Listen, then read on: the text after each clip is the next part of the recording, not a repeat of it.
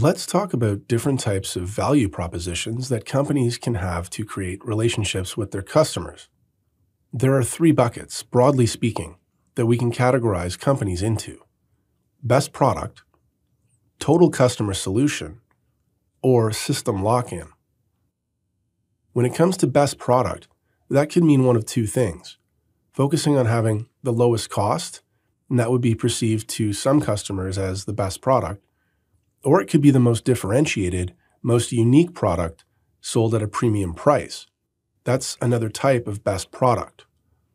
So these companies are very focused on the product, and that is the way that they have a relationship with the customer, either being the cheapest or being the most differentiated. Then we have total customer solutions. This is where a business and its management team is focused on the full experience of its customers. They have a complete set of products and services, which means they can provide a lot of things in just one place. So, really, the focus here is on customer service and customer experience. Then there's system lock in.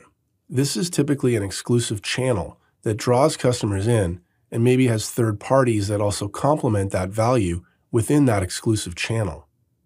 So let's give examples of each of the three.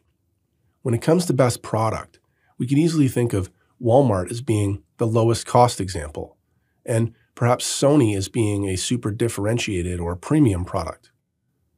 Then, under total customer solutions, you could have any number of large financial institutions. Think of a firm like Bank of America.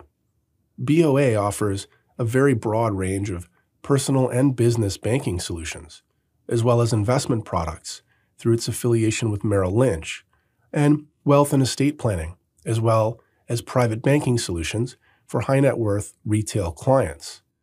This is very much a total customer solution strategy for financial needs specifically.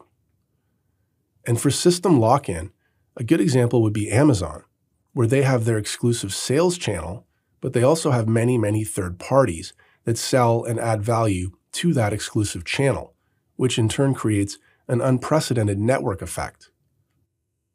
When analyzing a company, it's important to consider how management is looking to differentiate its offerings and how that might inform competitive advantage or not.